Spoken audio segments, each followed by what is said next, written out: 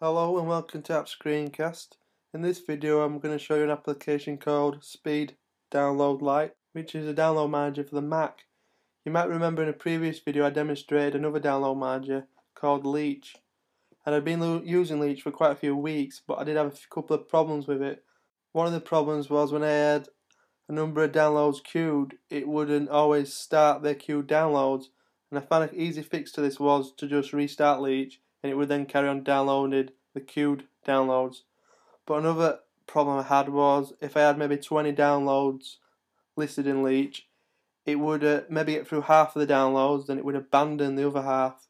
And it did this quite regularly, which were really annoying because I would set it off downloading overnight, and the next day I was expecting the downloads to all be done, and it would have obviously abandoned half of them, which was a big sticking point.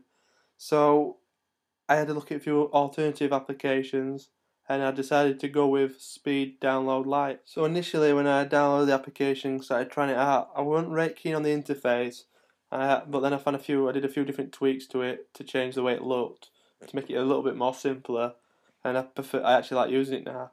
But the actual application itself is a really good, really good application. It's got some really good features it surprised me how good it was actually, and it's much better than actual using Leech, which we were using before. So with just a few tweaks, you can get Speed Download Lite to look something like this, a lot more simpler, and um, you might not personally like it to be like this. You might want to have all the extra functions in the sidebar, the search bar along top, and all the categories, but I wanted it to just be a lot more simpler, a lot more sleeker looking.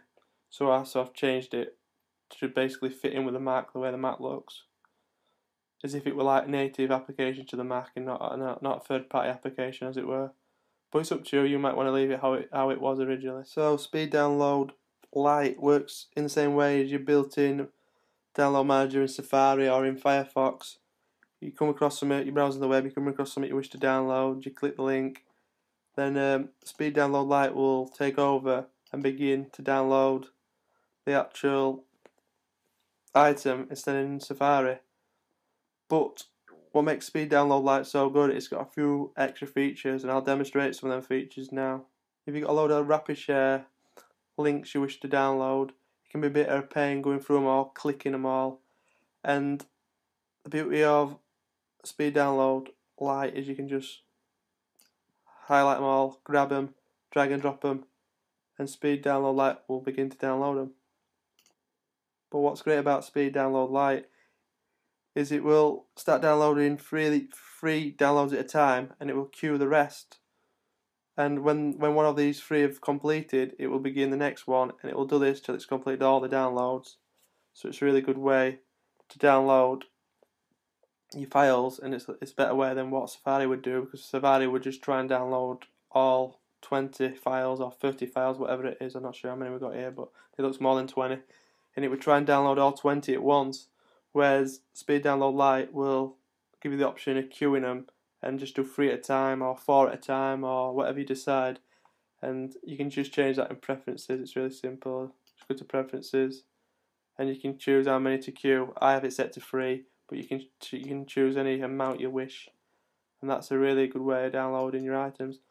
Another good feature in Speed Download Lite is if you're ever downloading from RapidShare using Safari, if you try and pause the download halfway through or or whenever, when you try and re-begin the download, Safari will start downloading the actual file from the beginning again instead of carrying on from where it left off. Whereas Speed Download Lite is you can actually pause download. You just click stop, and it will pause the download. As you can see, it's paused it at forty percent.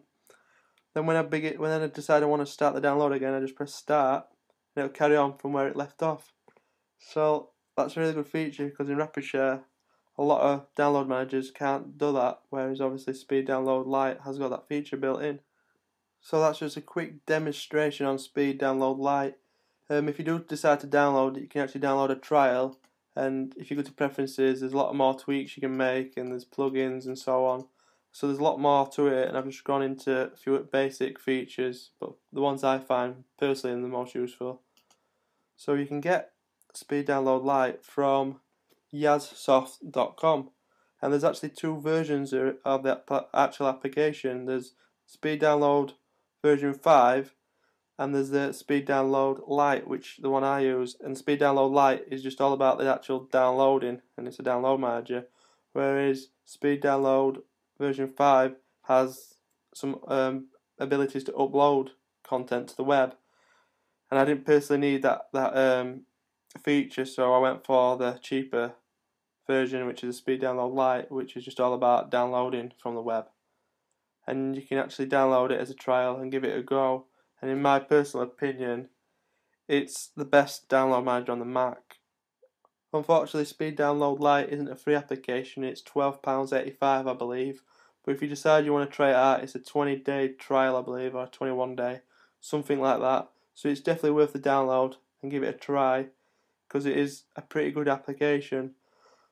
If you do know of a free alternative, then leave a link in the description or make a video response to this.